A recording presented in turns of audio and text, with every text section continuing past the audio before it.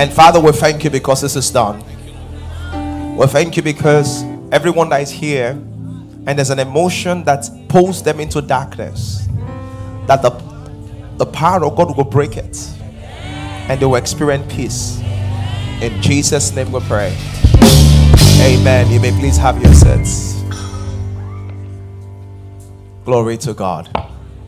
Amen and amen and amen. All right, just before I start teaching, two things. Number one, we had an assignment. So, all of you that I know that a lot of you, this is not your service, but you moved in here because of elections. So, I want to give you a background.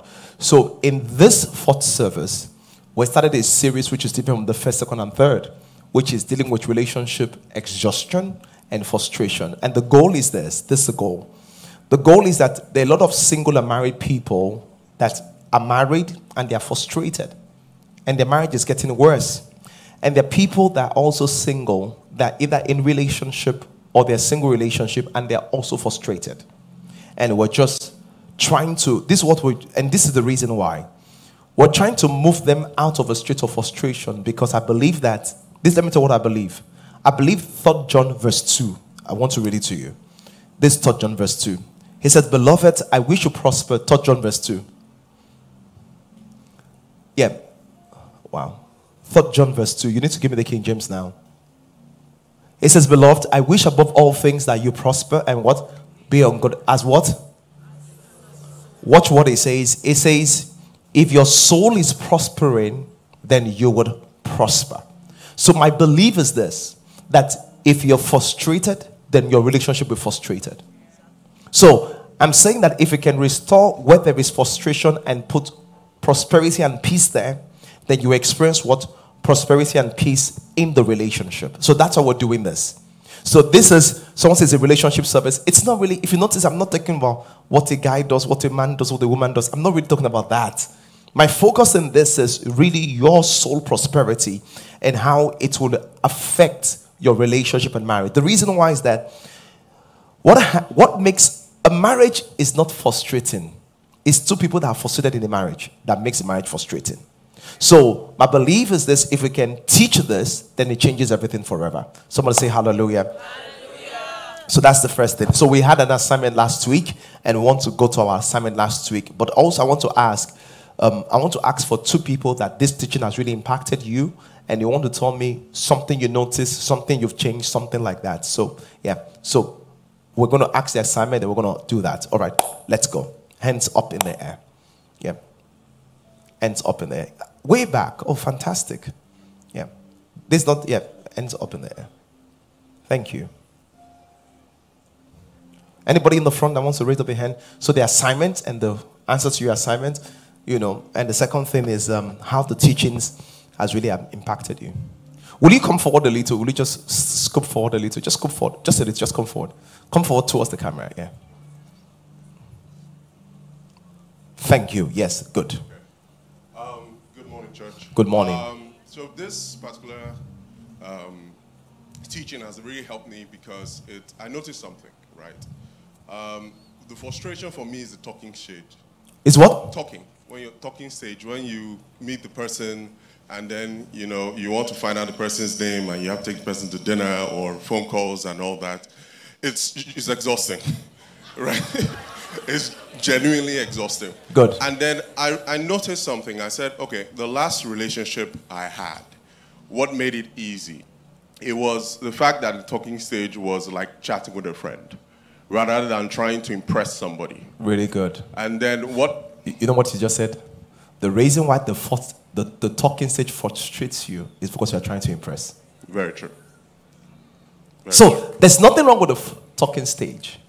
Is here because your intention is to impress. And when you want to want to impress, you're not yourself. Yes. So you got the answer. The answer is simple. I can go through a talking stage as far as I'm not trying to impress. And the thing I always tell single people is that they say, put your best leg forward. Put the best leg you have forward. Don't borrow somebody else's leg to put forward. What does that mean? You know, when we're dating, um, someone said, Do I open the door for my wife? I said, I can. But will I do it in marriage? That's the problem. No. It's not sustainable. maybe for you, for some other people, it's it's it's something I wish I grew up with, but that's not how I grew up. It's not for some people because I don't want to take it away that some people do it and it's nice and you know, but and in our culture it's not a standard. In some other people's culture, it is a standard. You know, if I grew up in that culture and, and I don't want to take away and say that that's not right. No, no, I think that it's right. And really to my wife, it doesn't matter anyway. You know, I know what matters to my wife. If she's coming behind the door, I should hold the door. You know, that matters to my wife. That I should not just slam the door and let her open the door also. That's so, and that's one I do. You know, all right. One, one last thing. Good. Um, and, and thank you for sharing. This means a lot to me. Yeah. Thank you so much. Um, it means a lot to me because a lot of spiritual and physical work goes to this. The least you can do is to give your feedback. Yeah. I don't have to do this. I'm married. Yeah, and my wife is not complaining. Yeah, yeah. So, so, so the least you can do is to be generous, to be like, okay, you know, I'm going to do this. Yes. Thank you, Pastor Bolaji. Thank you. Um, another thing that I noticed was um, it's easy for people to. Um, okay, let me, let me backtrack. So I grew up in a family of love, right? And I say this very boldly because my parents have been married for 40 years. Um, I'm their last child. So I saw love growing up. My parents call themselves Ima. I'm a. So Ima means love. So they've been calling themselves Ima for the last 40 years. And I've seen it in my family. So that even gave me the expectation of ah, I have to replicate this kind of love in my own home. But um, it's a journey, and it's shown me that you know uh, there is something to look forward to in life. I, I guess love. that let me tell you, your, your parents are 40 years in marriage. The way I look at you, I think you're about 30. You don't have to confirm or disagree. I want to show you some about your parents' marriage. This 10, 20, 30, 40. If you are 30 years old, you began to exist somewhere here. Yeah? But you became conscious somewhere here. Is that not true? Yes. By the time you became conscious, their marriage was in maturity state. You didn't see it evolve. You didn't see the first five years that were challenging. Yeah. You didn't see the first 10 years that was challenging. You, you saw the marriage, and the reason why is that I don't want it to be under pressure because what you're going through, they went through it. Yeah. So you need to you, need to trust yourself and be like, you know, I, I can do this. I this thing can happen. You know, the reason why you feel under pressure is like, oh wow, because you, they've been married for 40 years and literally you so you, you you became this was you were about 10 years old you became very conscious just when the marriage was 22 23 18 years. That's when you became conscious. Ah, but by the time your marriage is 18 20 years you should have sorted out everything. You know that kind of thing. So that's something else you're learning that's the beauty of asking the question, you know, and putting a comment out there. Thank you. Thank you. Praise God. Yeah. And this, uh, this, this will help a lot of people, yes or no? Yeah. Because some of you are trying to like look at my parents' wedding, but you're trying to compare yourself to, you know, yeah, yeah, you know, that kind of thing. All right, that's one. Another one, yeah, what you learned, yeah. Yes, you can go ahead. Thank you. Thank you. Yeah.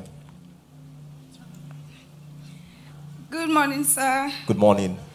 Okay, so last week you said you don't experience life, you only experience the life that you focus on. Very true.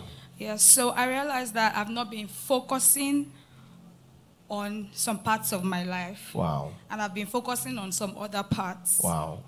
And so it has affected my relationship. I'm not exactly sure that's the part that broke it off. Yeah. But I'm a bit laid back with my craft, my business, and so I'm not making as much money. Advancement. Advancement. You're just looking for I'm, love. N- not exactly. I'm not pursuing it the way I should actually. Yeah. And so you're pursuing man more than the craft. No, no, no, no. So what are you pursuing?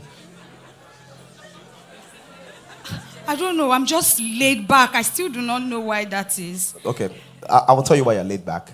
Okay. Should I tell you why? Yes, sir. You don't have a why. Yeah. There's, not, there's, there's nothing pursuing you. You can run, right? Can you run? You can run. I can. You can run. Yes, sir. Okay, but you can't run very fast, can you? I can run very fast. Very fast. Oh, Yes. that's good. That's good. That's, can you cook? Extremely well. Extremely well. Fantastic. What can't you do? I really do not know, so I don't know what. So, why did you learn how to cook? Why can you cook very well? Why can you cook very well? Why can you? Okay, so my late grandma was a chef. Hmm. So growing up, she raised me. So growing up around her, you must just know how to cook. Did you hear that? You had, you must. Until you have what is a must, you will not do it. Yes, sir. The must is the why. Yeah. So th- there was no way because if you don't cook, is that not what happens? Kind of, yes. Yeah. You, you'll get some kind of discipline. So she made it, she made it standard for you to cook. Yes, So you learned how to cook. All right. Thank you. Praise the Lord. Hallelujah. All right. So let's talk about the assignment right now. Let's talk about the assignment and who did the assignment. Nina, did you do the assignment? You were not here, you were not, there, you were not here last week. Okay. What? You were, but you didn't do it. Okay, only first and second service. Who did the assignment? Yeah. Who did? No, you did last week. So I want to get who did the assignment? Yeah.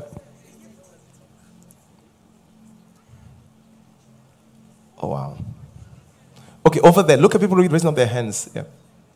Calibi, you need to always allow me to tell you what to give the mic. But give him the mic. I want to see who you want to give the mic. Yeah. Yeah, give him the mic. Oh, I, yeah, I can't even see who the person is. Yes. Tell me the assignment, yeah. And who you did. Chuma, you need to stay here. Yeah. Yeah. Speak. Okay. The assignment was what belief is fueling my frustration. Yeah. So the point the, it's two things. When are you frustrated, and what is fueling your frustration? When are you frustrated, and what is fueling your frustration?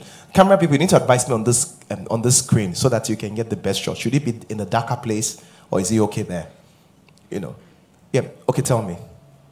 Okay, so um, I was able to decipher that the basis of my frustration is my fear of failure. Okay. Good. Yeah. Okay. So, so what, what what do you believe?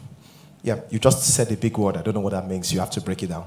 So, your fear of Failure. You have frustration. So you, the belief, what do you believe that is fueling that frustration?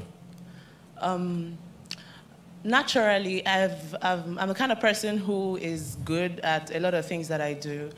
So if I don't get something right, it gets to me really deeply. And um, the fear of not getting. You've not told um, me what you believe. Oh. You're telling me a statement. So, once you, uh, because I want to bring out your belief. Once you don't get something right, it gets you deeply. Yes or no? Right. Why does it get to you deeply? Because I believe I should have gotten it right. Why do you think you should have gotten it right? Um, I really don't know. No, you know. Yeah. So the reason why I say you don't know is because you want to give the wrong answer. So try again. No answer is wrong. So you see what happened? So all of you that are perfectionists, perfectionists is a problem with perfect, people that get want perfect answers. Once you can't figure it out, you freeze. So that's why you say you don't know. You actually know, my sister. Just think. Yeah. No answer is right or wrong. So think, yeah. Um, just there, there are a lot of eyes on me. There's always been. People expectation. There is a general expectation to yeah. do. So um, you see, you see, you actually know. Yeah, yeah, yeah. So people heap the expectation on you. Okay, and yeah. So once you fail, you fail them. Yeah. Yes, generally. Oh, yes. good, good, good, good, good, good, good. Yeah. Have there been times you failed them before? Yes, there have been. And what happened? I mean, I get the encouragement to do better, but it doesn't really is the encouragement is not as satisfying as the approval or the should I say the praise? Not necessarily the praise, But if the- they're really encouraging you, Yeah. were they really ex- expecting perfection from you? Do you really think that they expect perfection from you? Maybe not. It's, it's just something I've come to expect from myself, I guess. Thank you. That's where I'm going to. You're the one that expect it from yourself. Why do you expect it from yourself? It's nice. It's nice. Yeah. Good. You just come into the statement. The reason why you are afraid of failure is that you don't see failure as a lesson teacher, you see failure as an enemy. What's your name? Debbie. Debbie, some of the best lessons you will learn in life is when you fail. Simple and straight. So when I fail at something, I don't see myself. For me, failure is not me. First of all, I don't attach myself to failure. I failed physics. I'm not a failure. I only failed a subject. So when I fail in something, I ask myself, what am I learning? Then the third thing is that if I don't fail, I will not grow. Can a child walk without falling? If you don't fail, you will not grow. Because for you to grow, you have to take risk. For you to take risk, you have to fail. For you to fail, then you have to learn. So I think that you are the one that puts yourself under this pressure. And the reason why is that in your mind, you don't know how to befriend your failure. Some of the biggest blessings in my life are the areas I failed. And you can take it from there. Does this help? It does. Okay, good. Good. One more, one more, one more contribution. Yes. There's a lady in front here, then we can take the guy, uh, you know, just one more. Quickly, please, because of time.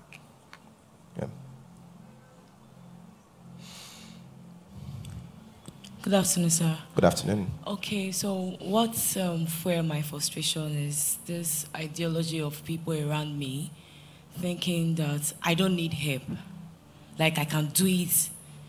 So, hold on. Let me just backtrack to Debbie's question again. So Debbie was like, um, she's frustrated because um, of the fear of failure. So the reason why you're frustrated is this, you know, is the belief that the belief is that your failure is fatal. That's why you're frustrated. It's not the fear of failure.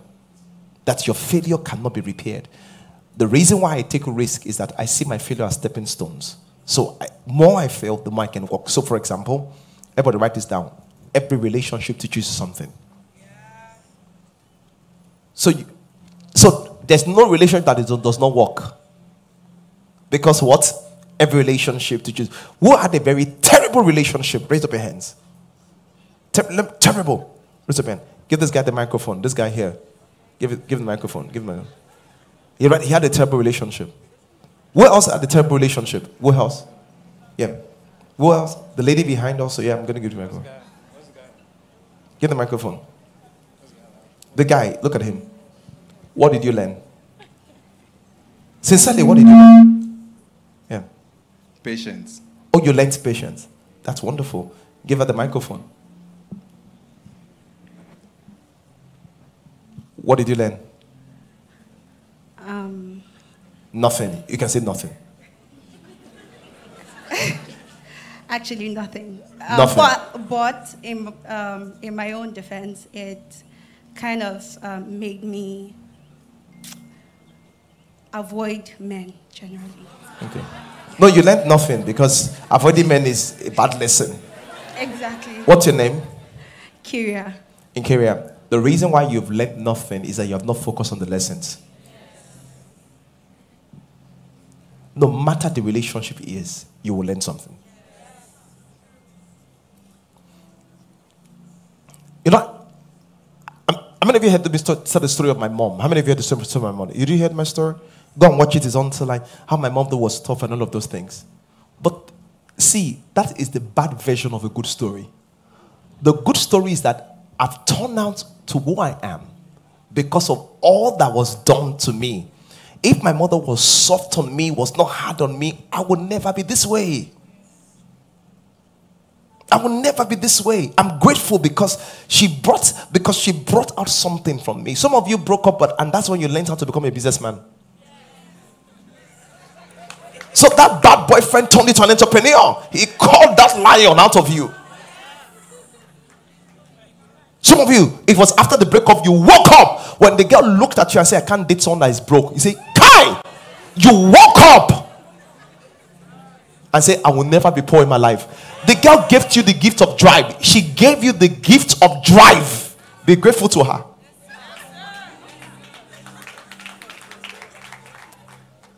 Praise God. This lady in red wants to say something. Terrible relationship when I moved into Lagos 2019. So what did you learn? Okay, that one I blacklist anybody. What did you learn? I learned that I should pay Did you see how our story went into the negative, into the negative, into the negative? Okay. I'm just saying how we sabotage ourselves into the negative, negative. Because you're out of it right now. I think what you should focus on is the positive, or else you'll be in perpetual pain. What did you learn? I learned to pay attention. The person is really not the problem. Okay, you learned to pay attention. Wonderful. Wonderful. Praise God. I- I'm just showing you. All right. Was someone saying something before? Okay, yes. Back to you.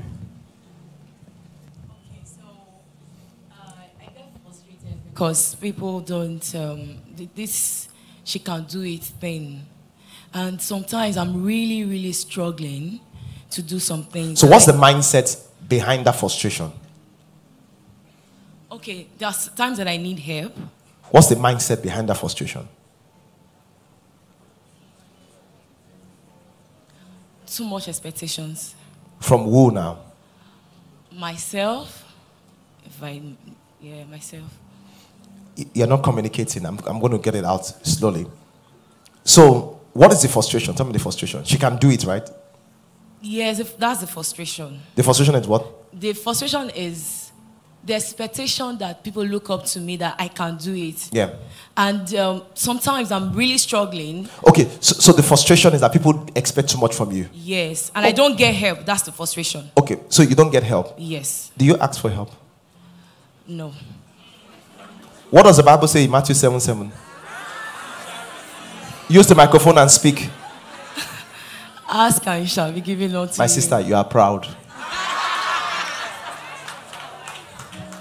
You did hear that? You are what? Proud. One, you are the one that told them to expect a lot from you, either by conduct or verbally. Now they expect a lot from you. You cannot handle it and you cannot talk. Then you're proud.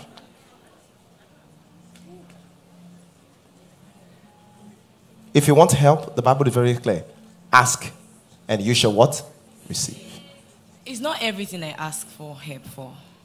So the ones I ask for help for and I don't get help. That's that's the thing. The ones I, I don't ask for help, So the one you ask help for, you don't get it. I don't get it. Master, you are proud. I want to ask you something. Why do you think all the help you ask for must be given to you? Are you feeling entitled? I'm not. Maybe The reason why is that I'm telling you that it's human nature that when I ask for help, I will get some. I will not get some. That's human nature. Okay, Master, give me one million. You see how you smart now? Because maybe you don't have it to give it to me. Maybe you have it, but you can't give it to me. But if I now say that all the help I asked her, she didn't give me, I, f- I feel entitled. So what I'm saying is that the way human nature is, some help you will ask for, you will get. Some help you will ask for, you will not get. As you are sitting down now, you cannot tell me all the help you've asked for, you have not gotten. out of 100%, I've Uh-huh. not gotten up to 50%. I want to ask you, which of us here, you, you, it's good. Give him the microphone. Give him the microphone. You- just listen.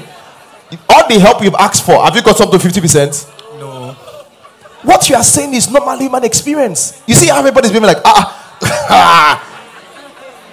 Can you see what I say? You feel entitled or there's pride? So I I know what I'm saying because the reason why is that there's a way you figure it should happen. That ah, if I ask, at least. But that's not what it is. Just like many people here, they say, My first boyfriend, I should marry him. Who does that? Where is he in the world? Very few people, I'm not sure they are up to 2% that marries their first boyfriend. So the reason why is that, listen, listen, watch this now. Your life can become very unhappy because you have wrong expectations. Your expectations are just wrong. Your, it's called your life template. Your life template is just wrong. Just like if a man just says, "Well, we marry, we'll be having sex every night." That's a wrong template. Is that possible? So the thing is that the reason why you feel as if there's a problem is that ah, even me, I'm a pastor. Is he everything that? Yeah. So I think you need to define.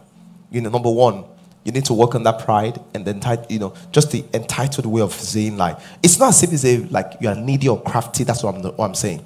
But it's somewhere subconscious that if I ask, I should be able to get this. You know, nah. Not like that. You know. Praise the Lord. Is your name Miloko? The reason why I ask that is that the reason why I ask that is that, you know, because as powerful that, that statement is very loaded in a lot of ways. It's very loaded in a lot of ways. It has a very spiritual meaning. It's a for me, it means a lot.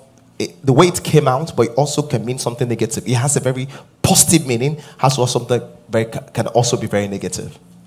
But it depends on how you wing it. Praise the Lord.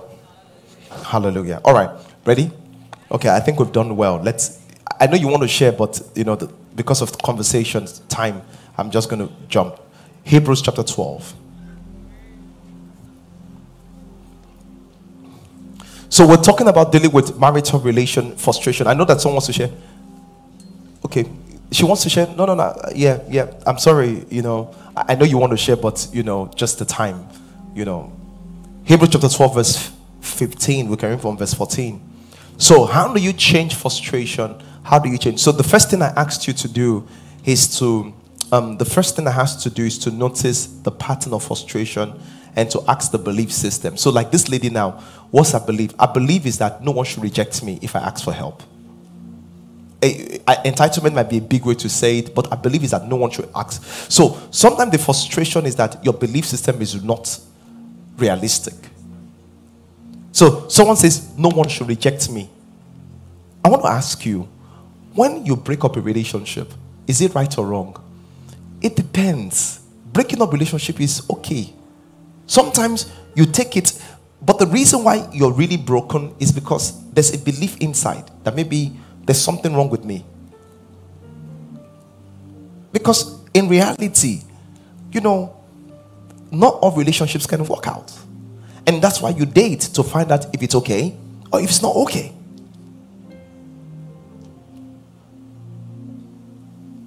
Glory to God. Wow.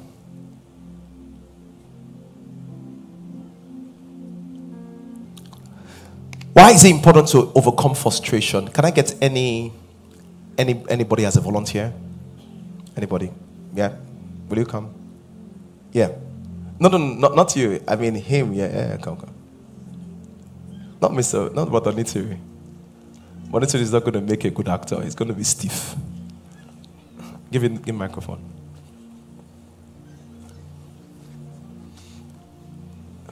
I want to be frustrated. This is why you must overcome. Be frustrated. Be frustrated, though. Be frustrated. What, what has a good handwriting among the PA? Who has a good handwriting for the board? What's a good handwriting? Who does? Okay. Be frustrated. So let me give something for frustrated about. Let me tell you. Ah, let me tell you. Let me ask you how is business? How is work? Yeah, you don't do business. Annoying. Okay. You just how is work? Are you frustrated with work? Yeah, yeah, I'm You are frustrated. So how is work? Annoying. Tough. Write annoying. Tough. Yeah. Write it. Give another word. So you're going to the office tomorrow morning. As soon as you step in, how do you feel? angry. Angry. Yeah. What another word? Overwhelmed. Overwhelmed. Yeah. Give me two more words. Yeah. Drained. Drained. Yeah. What? Sad. Sad. Exhausted. Uh huh. Sad. Do we have up to six words there? Thank you. Just move. Just stay over here. I want to focus on the board. Please focus on the board. One, two, three, four, five, six, seven. Good. Yeah. Can I have that? Watch this. This is why you must overcome frustration in your marriage. If the state of your life or job is this word frust- annoying, tough, angry, overwhelmed, drained, exhausted, sad, how will your performance be? On a scale of 1 to 10, what will your performance be? 1 to 10. What will your performance? Give me a number. 2.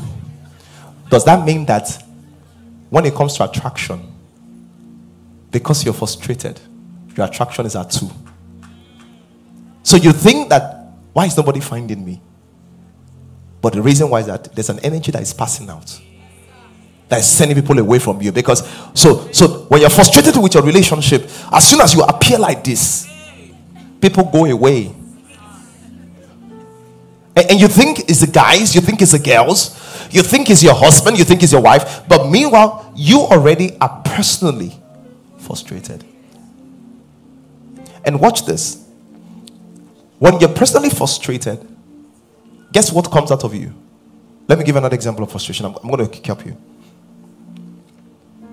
So you're frustrated at work, and uh, that particular day you made a mistake, and you lost 100 million for the business.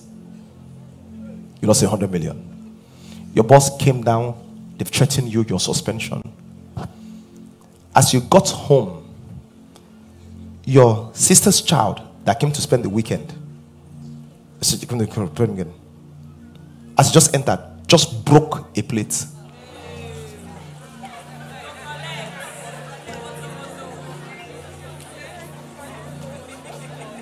And your sister now carried him and said that hope it didn't cut you. What will your response be? Microphone. I don't talk because if I talk, So talk. please leave me alone. Please. That's all you will say. Avoid me. Avoid me. But if you don't say avoid me, talk, what would you have said? Pastor, it's best I don't talk. No, talk, but don't be vulgar. You know, talk, but I, I trust you. You're a nice Christian, so so talk. You be like, are you mad? What's going on? Say, say, continue. Yes, yes, yes. It's, it's not in me. No, no, no. Say, say, say, say, say. Just say the things here. Are you mad? Get out. Leave me alone. Leave me alone. Get out of this house. Are you not noticing this? Watch something. Something else. Your work, same work. Your boss calls you and says, I'm so sorry about all the things we've done to you. As a matter of fact, the deal you worked on last has brought in a hundred million. We just received the payment today. And because of that, we're going to give you three level of promotion. We're going to sponsor a trip to Dubai, and your salary has been increased by 10 million. That's what they told you. Watch this. So, you got home. As soon as you got home, the same child broke the plates. What do they call it? Your auntie comes and says, Ah, hope he didn't cut you. What will you say? It's just a child.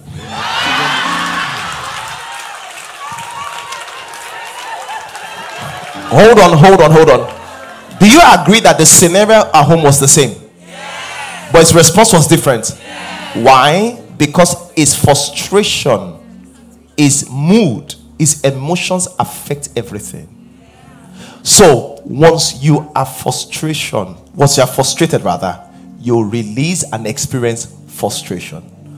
Once you are joyful, you release and experience joyfulness. Remember, the child did the same thing. It was negative. What the child was always wrong. Either he broke the plate yesterday or today, it was always wrong. Could I say something? Maybe there's nothing wrong with your marriage, with your relationship with the men, with the girls. Maybe it's you that's releasing everything.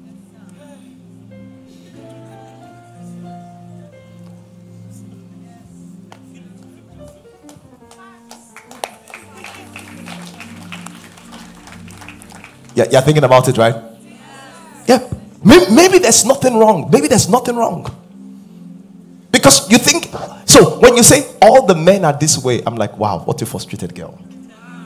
Because you don't realize you're the same person. When you say all the women are like this, does it? When you say I'm tired of my marriage, it's you. It's you that brings it there.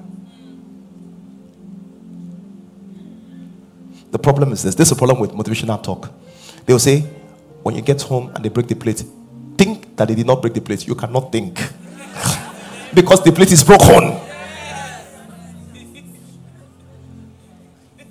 You cannot think. This is why this is why when you are in that state, all the things you know to do, you cannot do it because you are in a frustrated state. And that's why I began to teach with dealing with what relationship and marital exhaustion because until we remove you from that exhausted state and frustrated state, there's nothing you will have to do that will make sense. And the reason I'm giving this example today is that no matter how much I try to remove you, if you don't want to be removed, you'll not be removed. And I'm telling you that sometimes you don't realize that you are the person. You are the common denominator in all the equations. The plate will always break. But what makes you say it's just a child or I will kill you or get out of here is the state you are in. The question is that what state are you in? Thank you. Yeah. What state are you in? Someone say, I'm in a blessed state. What does that mean? You know, Christians use all these words that are very confusing. Chinelo says something. Chinelo wants to say something. How, how does this apply to you as, you know, you know what I'm talking about exactly. You, you are a married woman. Chinelo, yeah? You're a married woman, you're a cancer. Yeah, say something. Yeah. Um, I, I think I just 100% agree with what you're saying. What struck you the most? What story came to mind? Um, the scripture you read when you first started the sermon, where Yeah. Saul um, had a spirit that was troubling him. Yeah. It actually said that the spirit of God left him, and then that trouble, that troublesome spirit Yeah. came. You know, so that void of the spirit of God obviously gave way for that other depression and all of that to come in. And, and, and, you know, the depression he experienced on the inside affected everything on the outside. The reason why I'm saying so is that all the girls that are single, can I be honest with you? A lot of you are frustrated. But it's called ignored frustration. You're frustrated but ignoring it. It doesn't make you not frustrated. You're just abandoned. And the moment on the scale of attractiveness, I just told you, when someone is that frustrated, where's attractiveness? Level two. You don't wonder why they are not coming. The reason why is that you're releasing energies of what? Frustration. Give, give it to Oniti, but Oniti, just behind you. Just behind you. Just pass the microphone. Yeah. yeah. Tell me. What do you think about this? Hallelujah. Um, I think it's uh, it's actually very very good, very very insightful. Um, a lot of the the things that people were talking about in terms of the fear of failure, uh, Yeah. that I think it's something that drives a lot of people in the negative. Yeah. People are scared to to take chances, risks, chances, whichever way you want to call it. Mm. The most important thing you have to learn in, in life that you you never lose, you always learn. You never lose. That's a You very powerful learn. perspective. That is true. Because everything you do in life is a lesson. Whether you win or you lose, you always learn something. So you never lose in life. Only the only L's you should take are lessons. Don't take any losses. Because losses are what you accept. You accept losses. But if you learn, it's never a loss. It's never a loss. You always gain. You gain from every experience. Awesome. So I think that is something that a lot of people should take Awesome. This is, this is powerful. This is powerful. So, everybody come back, just come back to me, please. All of you online, all of you online, put your comments in the sec- sections. So, this is what I'm saying to you. So, if you're married and you're experiencing frustration, I know you want to think is what he or she is doing, and that contributes to it. But most of the time, there is a state you're in that amplifies that. Let, can I give another example? Do you know that when your relationship is very hot and sweet, you have behaviors that you exhibit? Give me, name them for me. You're very generous. You're very patient. You're very understanding. Those are patterns of relationships that soar. When your relationship is falling apart, it also has pattern. What are the patterns? What? You're always impatient. The question is that when you exhibit the pattern, you enter the phase. So if I start exhibiting pattern of impatience, pattern of no connection, pattern of intolerance, I'm heading for the fatal fight because those things are consistent with that pattern. So some of you, and what happens is this: your emotional state determines which of them you do, because either you are patient or you are not patient. It depends on what the emotional state you are in.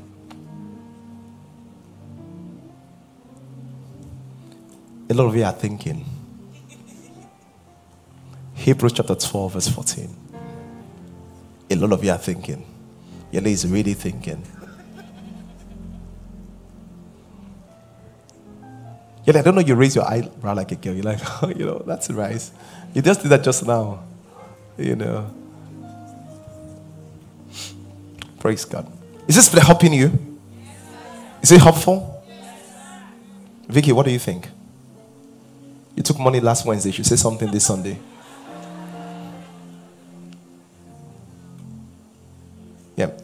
Give him a microphone, yeah.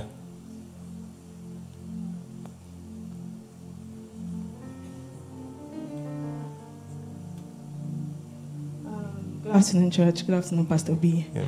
Okay, so I think I want to um, say that I could relate to the frustration of the, what the lady mentioned, not getting help from other people. People.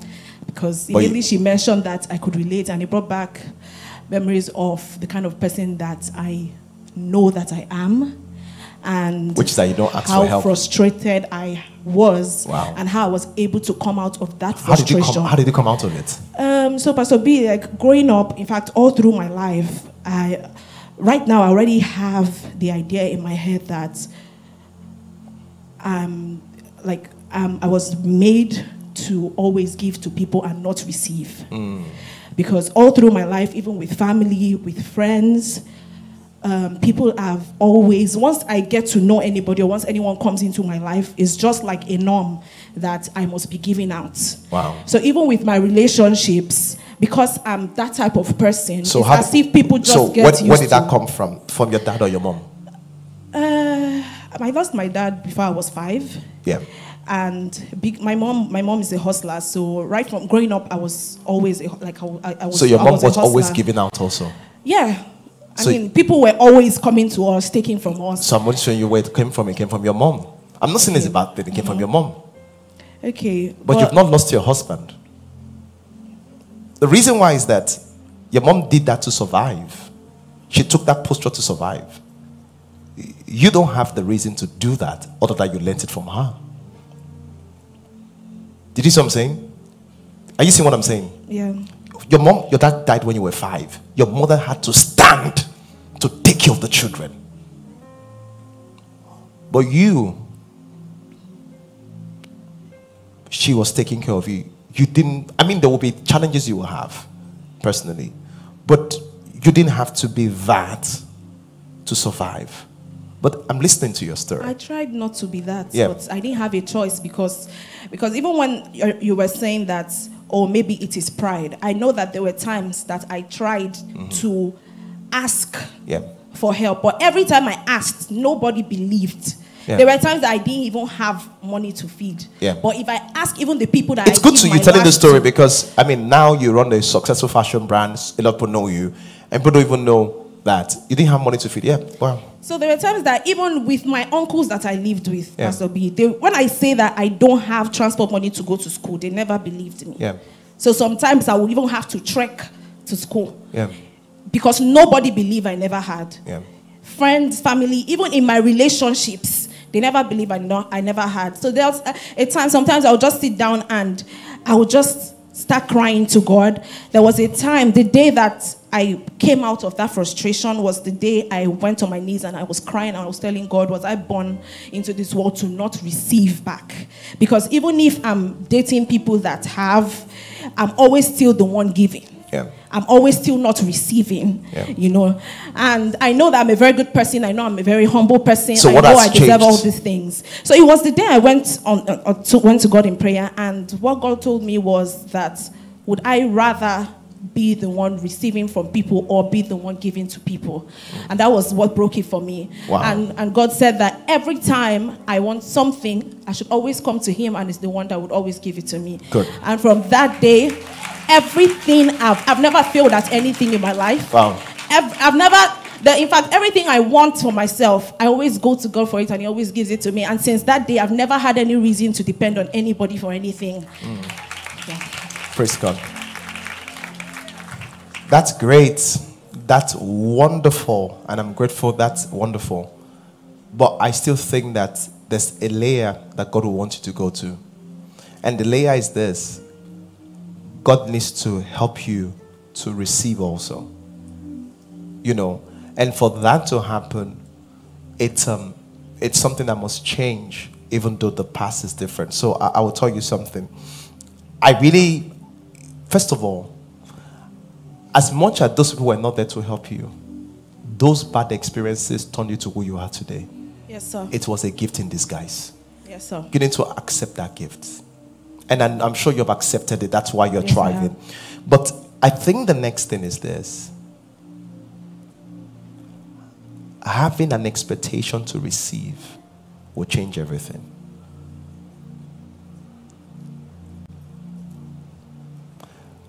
This doesn't have to do with you, but general principle. There's a book by my friend Hassani. He's in the US. And he said one of the problems with black American women is this they are too strong for themselves.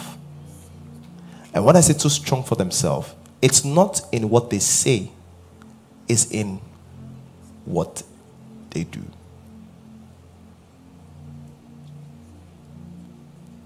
Sometimes you will find out that just because of the way you are and the fact that you have to hustle, you, you, you will behave like a man. And people have told you you're more of a man than a woman. Yes or no? Yes, sir. That's why you don't receive. Because the male gender is not that person.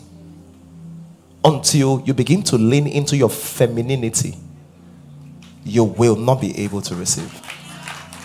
You have to lean in your what's leaning your femininity? Oh my God, I don't have petrol. Can you help me? when you don't have petrol, what do you do? Tell me, Vicky. See how she's laughing. Tell me. I just order my stuff to buy. Uh-huh. she, she, she ordered because because you've not leaned into what your femininity. The femininity is, is a weaker vessel. Who is a very feminine feminine? Right? Yeah, you're very feminine. Nene, what, what do you do? Give her the microphone. Is she that way? I don't know. Because I didn't even know she was that way. Okay, tell me, yeah. Because So if I didn't have petrol, I would just say, baby, I don't have petrol. I don't even know I'm going to get to work. Like I don't even know I'm going. if you don't have new Naira notes, what do you do? Like baby, I've not even seen the new naira note. So I don't.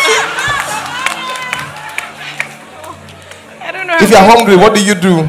Baby, I'm hungry. What are we getting for lunch? What are we having? When are we eating?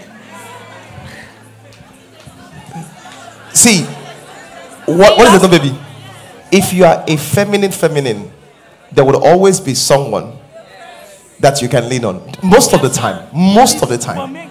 The reason why is that you know that opposites attract each other. Eh-heh. So once you're a feminine person, you will have the masculine person around you. You will always have the masculine person around you. Okay.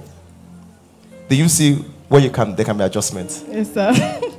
I agree because I mean when I'm You agree, when good. I'm hungry, be, before I even say, "Oh, I'm hungry," I feel like eating this. When the boyfriend says, "Okay, what do you want to eat?" I'm like, "Oh, I already ordered from Monty You you see what I'm saying?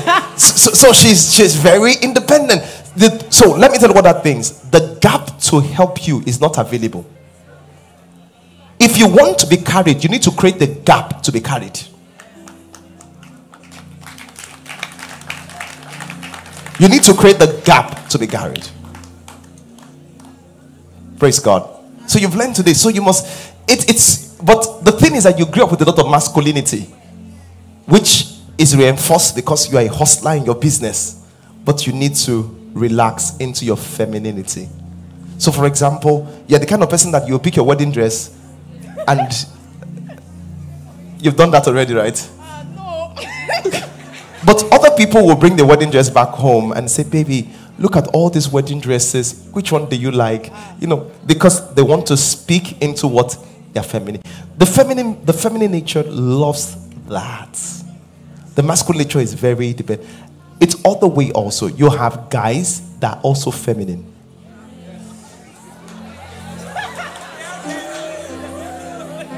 So you have guys that any small thing, baby, what will we eat? I mean, I've dated someone like that before. Oh, you, you know, right?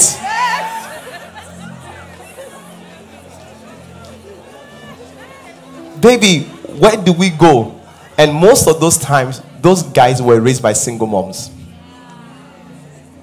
Oh, yeah, one.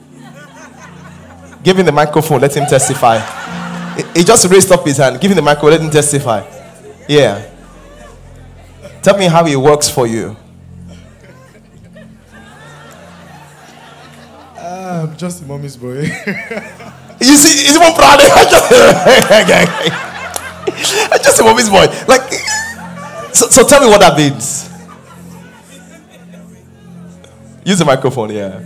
So once you feel like eating, yeah, tell me. If you feel like making a critical decision, you consult.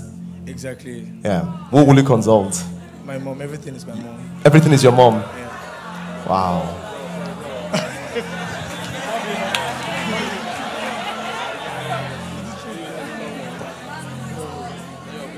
Hebrews chapter 12. Let's let's read and close. I've not been able to teach today. I've just given you the first point and you know. So, some of the ladies here, you have to lean into what your family. Tell me your question. You have a question. Yeah. Give her the microphone. She has a question. Tell me your question. You do have a question. No, no, no, no, no. You, you have a question. It's in your mind. You just need to bring it out. Yeah. So, what's your name? Stephanie. Is it Stephanie and Lucia? Yes. sir. Oh, yes. That came for the next level prayer. They're two friends. Yeah. Yes. Tell me. I really do not have any question. So, what was going through your mind? You, you were bewildered. So, yeah. Okay. Or what struck you? Is that you have a question or something struck you? Yeah. Um, I feel like um, this part that really spoke to me was the fear of failure. Okay.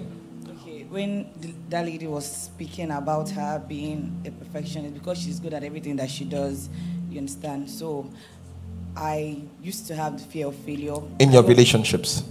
Yes, I go into relationships already seeing all the red flags and signs, and I already feel like it's not even going to work. So, So, why do you enter? To confirm your failure. so when I go into the relationship, I already know that I'm not even going to make any efforts. I just wait for him to just do what I already expect him to do, and wow, that is it. It's amazing the things I learned from these meetings. You know. Thank you. Thank you. All right. So, Hebrews chapter 12.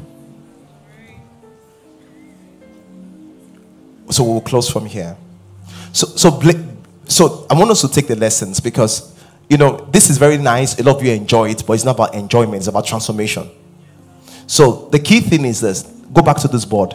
If I'm in a frustrated state, then I exhibit this. If I exhibit this, it affects me, my attract. It affects number one, my view of what it is. Then number two, when I'm in this state, it just reduces my attractiveness. So a lot of you are wondering, why don't I? Why is the marriage not good?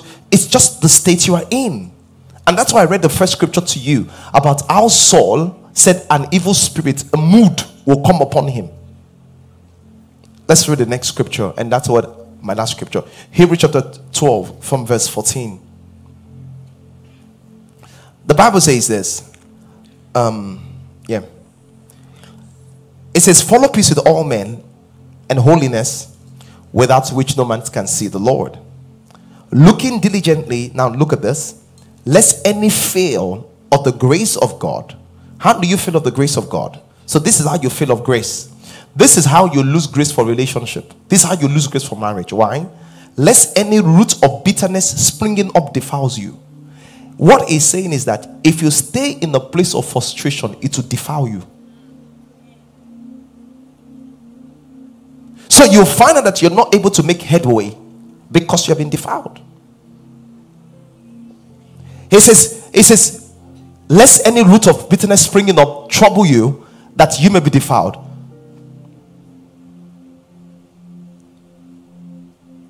Then the next verse is where I read in other services. Then he gave us an example of Esau, because of the root of bitterness, began to make bad decisions. So the key question is this. This is a key question, and this is why you need to be, you know, I don't want to come here every Sunday and hear the same thing. Literally over the last few Sundays, if you're very following very well, I've really said the same thing. And the same thing I've said is one thing. For you to improve your marriage or relationship, you must move yourself out of the frustration zone to the zone of peace. Because if you don't have peace within, you cannot have peace in the relationship. If you don't have peace within, you cannot have peace in the marriage. That's what I'm saying. And that's why I give the illustration of my, my handsome brother when I said that. I said, when you get home and they broke the plate, you broke the plate when they were about to fire you, they brought to blame when the same thing, but his response was different. The question that the reason why your response is different is because you are in different states at the same time. That's why 3 John verse 2 says, Beloved, I wish you prosper and be in good health, even as your soul prospers. Glory to God. I say, Glory to God. Someone says, Why do I attract wrong people? I don't know what you mean by attract from people. What I know is that you attract who you are. You attract who you are and you attract what is familiar to you. And what is familiar to you might not be good for you. And this goes back. So, if you're in a frustrated state, guess who you attract? Exactly.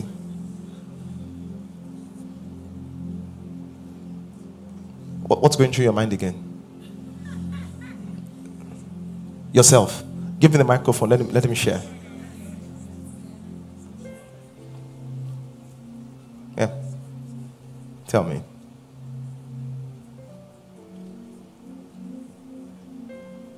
Uh, I'm just trying to go through everybody that have been around me. So let me tell you something. Stand. How many girlfriends have you had in the last two years? Last two years. I've dated one for four years. One for four years. Yeah. Can I guess? She behaves like your mom. They are friends. Well, she's smart because she can't go anywhere without your mom. So that she has to figure that out. But she's similar to your mom, right? Yes. Yeah. You know why? Because you attract what you're familiar with. You married your mom and another person.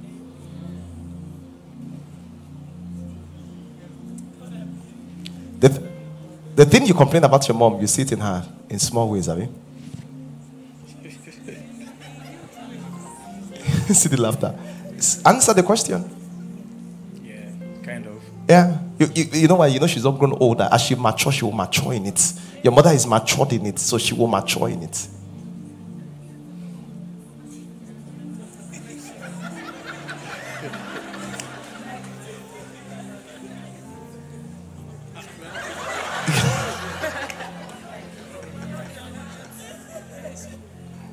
Reason why you chose her is simple.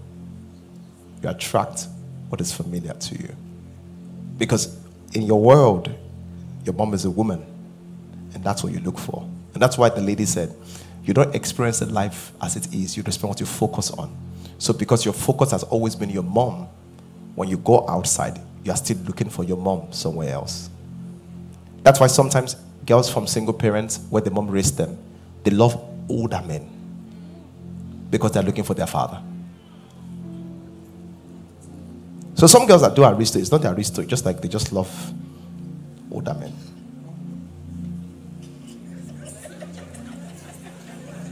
Thank you. Praise God. Yeah, I'm not asking for questions. You, I, I gave you the opportunity, but you didn't put up your hands that time. So I, no, no, when I came to him, you put out your hands. I saw you accurately. I saw you. Yeah, I saw you. So when you no, no, no, no, no. Mm, this doesn't work for me. Yeah. Praise God. Hallelujah. There's someone at the far back. There's a lady. Stand. Stand. That, the yellow lady. Stand. Or who is the lady? Is it the black lady? Stand. Stand because it's a distance. Yeah.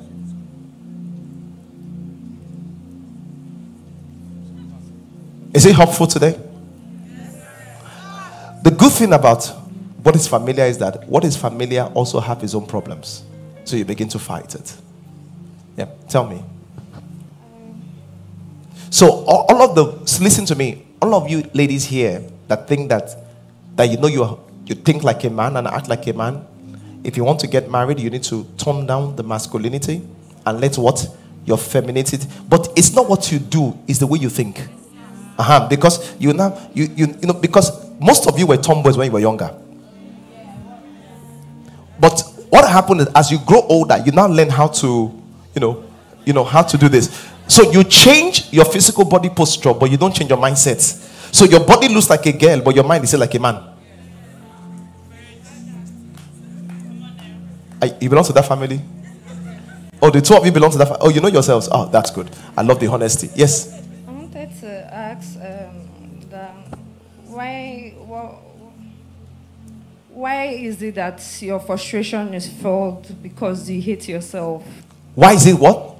That, uh, wha- what fuels your, frustr- your frustration is because you hate yourself.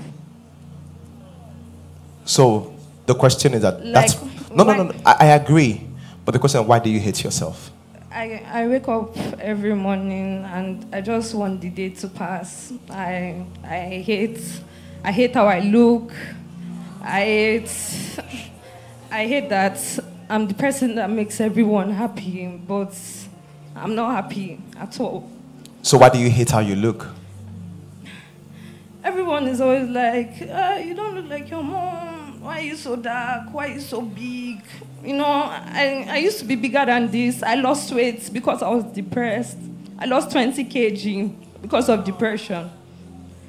But then again, So, question: Now that you've lost weight, are you now happy with yourself? I still want to lose more weight. I'm Yeah. not satisfied. Yeah.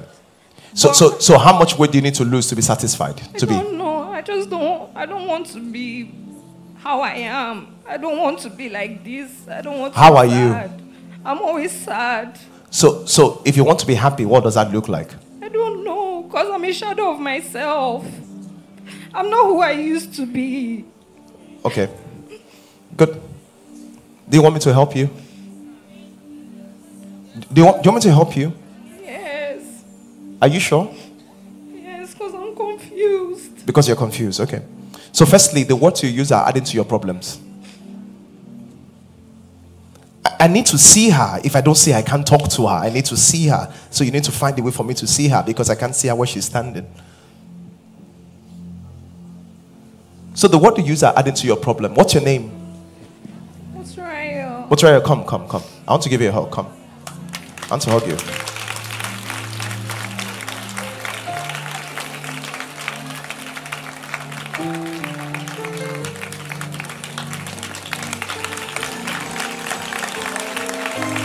As she's coming, let someone tell her she's beautiful. I, I want people to tell her. I want people to tell her. I want you to. If you think, if you think she's beautiful, tell her. Hug her. Set, tell her.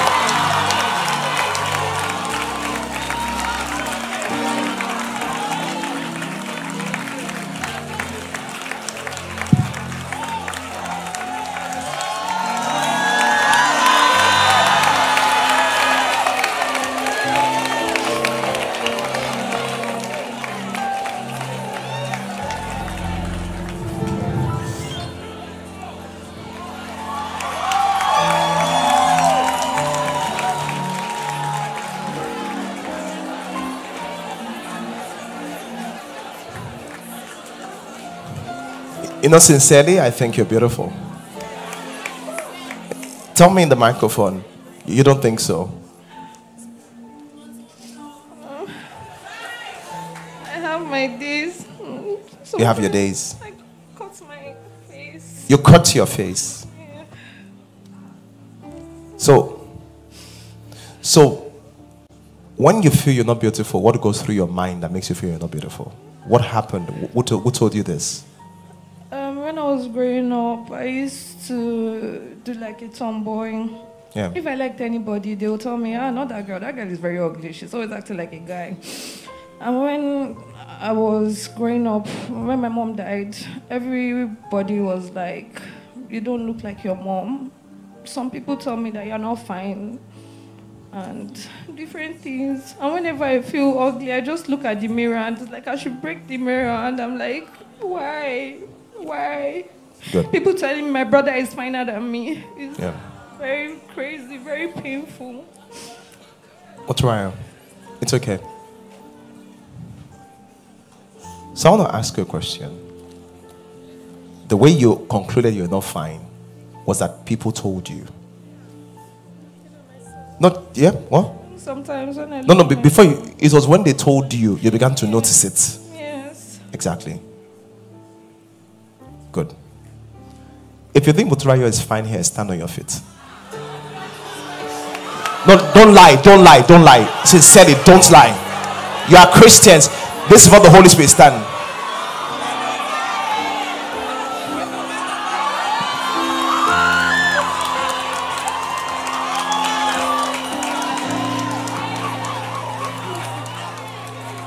Moturayo, take the microphone. All the people in your life that told you you were not ugly, as there are there are there as many as this? See, all the people in your listen to this. Right now we have maybe over a thousand people. All the people that told you in your life that you're not fine, I'm not sure they were up to 50. Yes or no? Tell me. Yes. Yeah? But now all those people are standing hoping that you are doing. What do you want to believe?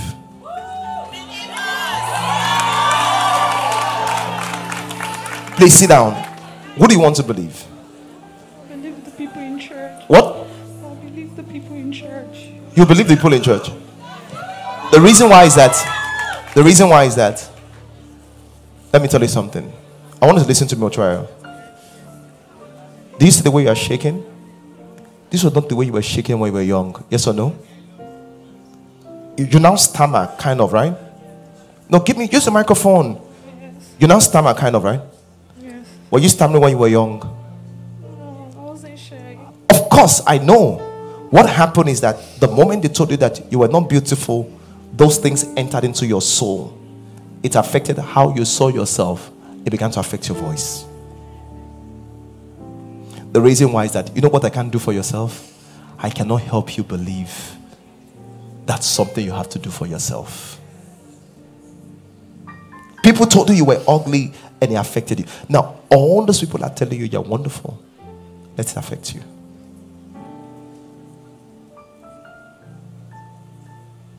So let me tell you what I will do. First of all, if you are beautiful, how will you walk? What? Yes, show me what a proud walk looks like. Show me. Show me.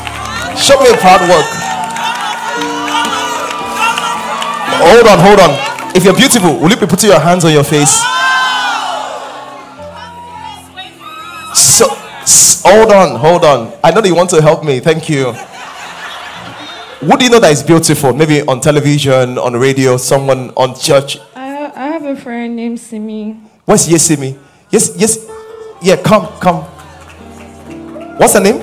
Simi. Simi?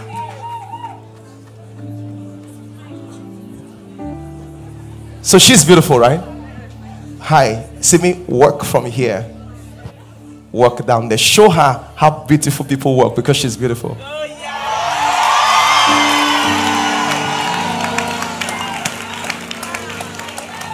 Okay. So, Pastor, she was already telling me she wanted to leave, and I was already talking to her on Snapchat that she shouldn't leave. Please, I, I don't know what to do. Like, no, no, no, no, don't worry. It, it's been solved right now. Hold on. So, come. Did you see how your friend, what's your name again? Simi. Simi, hold on to this for me. You saw how Simi worked? This- You saw how she walked, right? Did she put her hand on your face? See, you know the problem? You keep touching your body. Don't, don't touch it. Your body is perfect. Don't touch, don't touch your head. Don't touch. Free, free, free. Walk.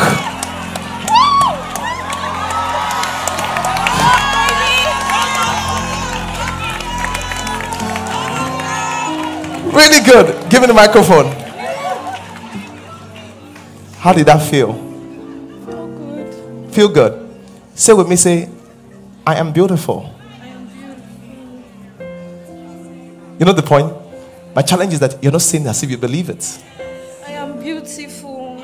I am pretty. I am a star. And I'm going to continue shining no matter what anybody says.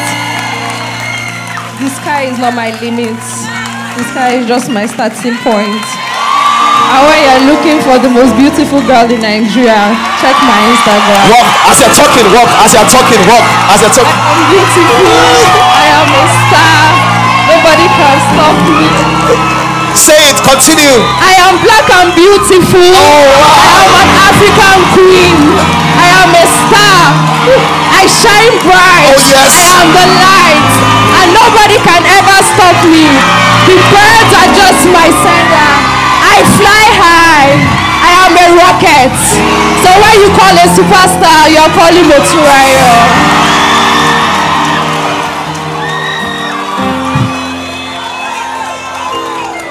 Why, why are you laughing so much? My name is Moturayo. It means I have seen joy again. And before I started being sad, I'm always smiling. Everybody's like, I like how you smile because my whole teeth show. And I'm the comedian. And I keep on forgetting who I was. And I keep on forgetting that I am the person that makes people happy. So why can't I be happy? But today, the church really made me happy. Hold on, hold on. Soraya, I wish the church made you happy. You made yourself happy. Tomorrow will not be here. You will make yourself happy again. Next tomorrow, you will make yourself happy again because you are the rockets. You know what the Bible says? Bible says, you are beautifully and wonderfully made. Say. Say, say God said about me God said about me that I am beautifully I am beautifully and wonderfully and wonderfully made. made. Say I accept it. I accept it. Nothing can change it. Nothing can change it. My past is gone. My past is gone. The new me has awoken. The new me has awoken. The attractive, Be attractive. Beautiful. Beautiful. Did you see how your volume just dropped? Attractive. Yeah. Beautiful. Yeah. Confidence Confident. Me. Me. as I walk on, As I walk on. So let me tell you what you have to do. So, what you have to do is this. Number one, you have to stop using the wrong words for yourself. Yeah. You have to you have to stop using the wrong words. Not just stop, you have to start using the right words. So do me a favor. For the next 21 days, always remind her to stop you say this together. I'm looking for the right scripture to give to you. What scripture did I just say right now? Wonderfully made. Tell me the scripture again. So look for that scripture. I am beautifully and fearfully made. That's the first scripture. The second scripture is that, you know, I'm the apple of God's eye. I'm the apple of God's eye. The first scripture is that I'm beautiful. I'm confident because Christ in me is a hope of glory. You have to keep telling them that, you know, you have to keep telling her that she's a go getter, she's a giant, she's a rocket, because greater is he that is in you than he that's in the world. So for the next 21 days, morning and evening. Then when you see her, if she walks the old way, you know how she was walking when she was coming in, and she was going to pass out. You're going to say, don't walk like that. Walk like they walk like they knew you. Give her some swag. Let her walk with some swag. You know, those are very powerful. So I want her to say something, and I want you to see yourself that way. And let me tell you something. Every time the thought comes in your mind and says you are this way, before it settles, say something else. Say something else. How do you feel right now?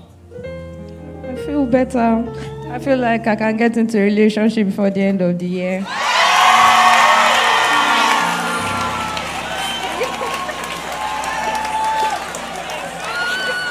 Awesome. You can go back to your seat. Walk back to your seat. You have to catwalk to your seat. Let me see that walk again. Oh, wow. Oh, wow.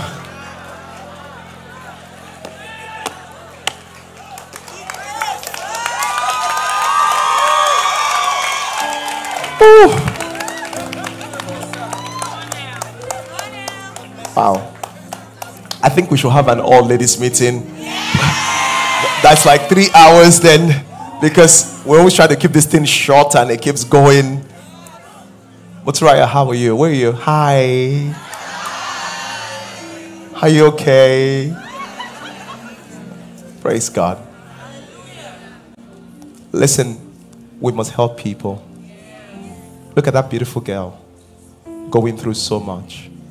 And the same way girls are, guys are. I- I've met guys that are broken. I've met guys that cannot talk to ladies. They are so broken by their past. And that's why, you know, a lot of people feel it's what is harvest is about. And I put the center there. It's about changing lives. And sometimes I, I, I do a lot. I mean, I was, um, was it three or four weeks ago? I was sitting down with a family, with their father, and with the sisters, and with the brothers, and just trying to help them resolve because, because of this thing I said. Look at what she said. Oh, you know, I didn't tell her about boyfriend. The moment I state change, she said, I feel as if I can get into a relationship this year. See, some of you, the case is not as bad as what she is, but it's bad. And that's why you are shaky. That's why I'm trying to move you from a frustrated state to a state of peace because miracles will happen in a state of peace. Can we pray? Stand on your feet. Let's give the Lord a big shout. Let's give the Lord a big shout.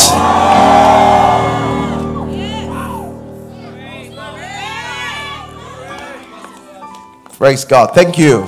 Thank you.